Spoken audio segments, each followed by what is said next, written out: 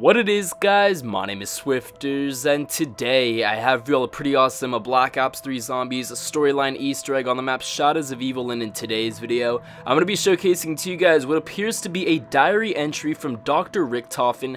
Now this easter egg is extremely similar to the one found on the Giant, the Dr. Monty blueprint easter egg and as you guys recall with that easter egg there were a ton of scattered pieces of this blueprint located throughout the entire map and if you guys were to find all of these pieces and and put them together in a photo editing program, they would combine to create one image that would give us a ton of information about the overall zombie storyline, and that is exactly what this easter egg is. But if you guys like to go about checking out the Dr. Monty easter egg, I'll have it linked down in the description below, but that is besides the point. As I said, we're going to be taking a look at this secret image that was found on Shadows of Evil. Now before I get any further in today's video, huge credit goes to none other than Milo, also known as Mr. Roffle Waffles, and Liam for the win as they're actually the first people to have discovered this and pieced together these images, so huge credit goes to them, link down in the description below, but with all of that out of the way, let's get started with today's video.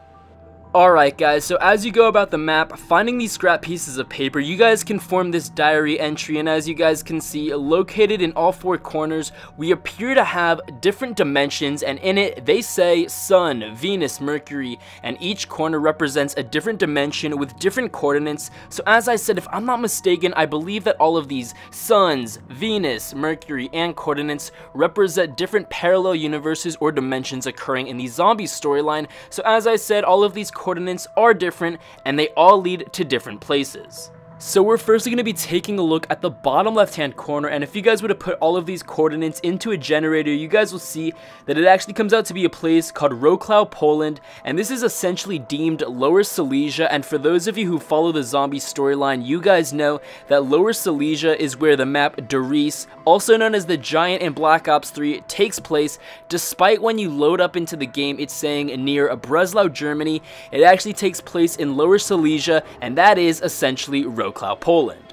So continuing onward to the top left hand corner, these coordinates take you to a place called Werfen, Austria, and I'm not too sure how this place pertains to the zombie storyline, but I'm sure we'll find out eventually. Continuing onward to the top right hand corner, these coordinates take you to a place called Volgograd, Russia. This place is better known as Stalingrad, Russia, so it's possible that this has some correlation to Nikolai Belinsky. Again, not too sure. Maybe we'll find out in a future DLC, and in the bottom right hand corner, these coordinates take you to a really weird place called Micronesia. Now, this place is located just northeast of Australia, very close to New Zealand as well, and again, I have absolutely no idea how this pertains to the storyline in any way, but again, hope we'll find out very soon. So going back to the overall image, there are a ton of really interesting things. So we're first going to be taking a look at this in the top left hand corner and as you guys can see on the left hand side, there is element 115 and to the right it says 115 is the fabric, the thread holding us all together, the welting universe, the war is in the infinity, this has happened before. A universe has been born, the others must be undone. How many years have we been searching in the wrong locations, following the wrong leads? We are different but the same. I must commence the others. There is another way. We all must die.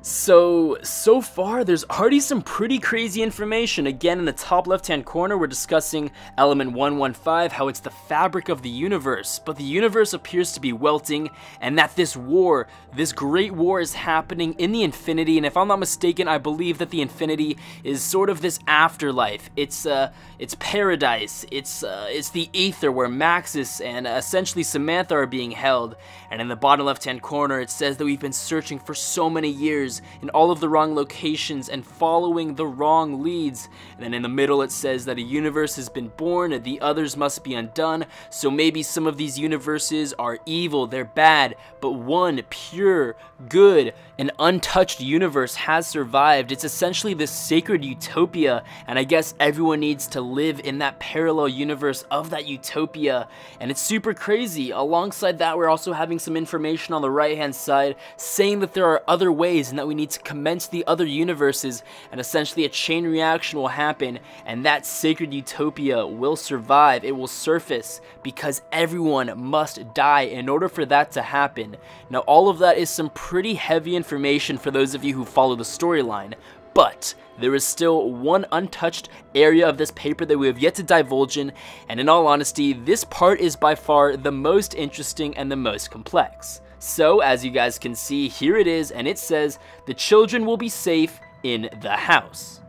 Now the image of the house that you guys are seeing on screen right now on top of this floating rock is extremely interesting and there is a ton of backstory to it. Now I'm not going to divulge into all of that information in today's video.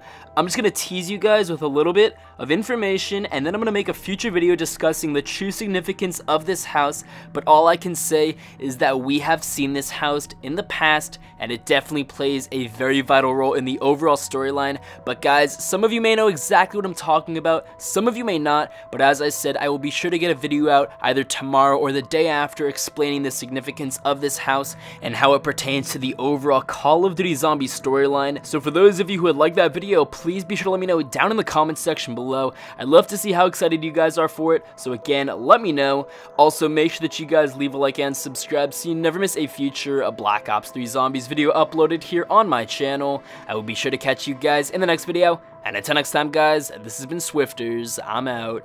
Peace.